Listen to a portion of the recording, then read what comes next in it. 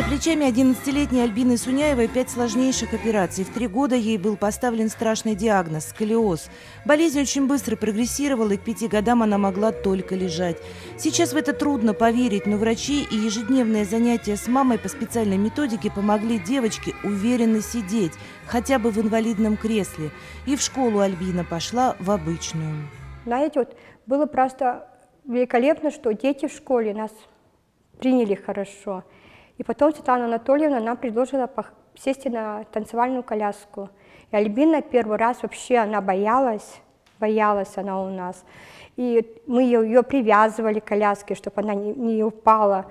И потом нам предложили выступить на конкурсе Альбина – артистка со стажем. В ее творческом багаже выступления и победы на городских и областных конкурсах, фестивалях в художественном танцевальном коллективе «Мечта».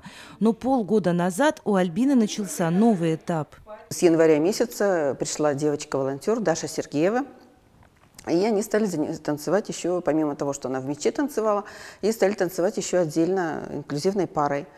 Вот. И за короткий, в общем-то, срок, за полугодие мы создали с ними три танца – и они выступали во многих учреждениях нашего города. Совсем недавно инклюзивную танцевальную пару Альбина Суняева Дарья Сергеева пригласили принять участие в международном фестивале «Алтын Майдан Крым», который будет проходить 17 августа в Евпатории.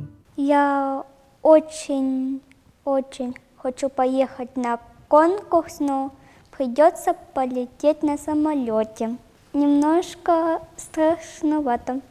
Альбина каждый день репетирует, пока без Даши, которая уехала на каникулы к бабушке, но совсем скоро дуэт воссоединится и готовится к конкурсу девчонки начнут основательно. Конечно, очень важно побывать на этом конкурсе, потому что это совершенно другие перспективы, это совершенно другой уровень, да, и на самом деле у них очень хорошие возможности для того, чтобы занять призовое место на этом конкурсе. Они очень много занимаются, они очень много работают над этим, стремятся к своей цели.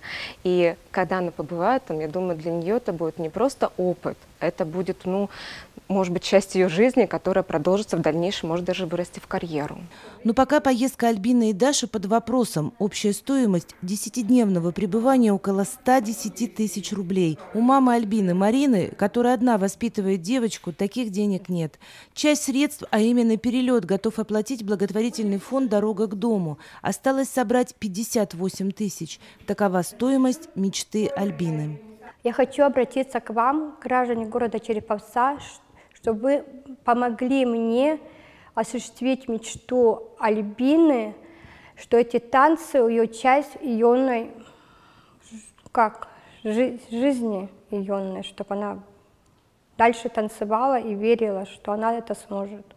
Перечислить любую сумму можно на расчетный счет Марины Хамалинской в Сбербанке или на банковскую карту по номеру телефона. Их вы видите на своих экранах.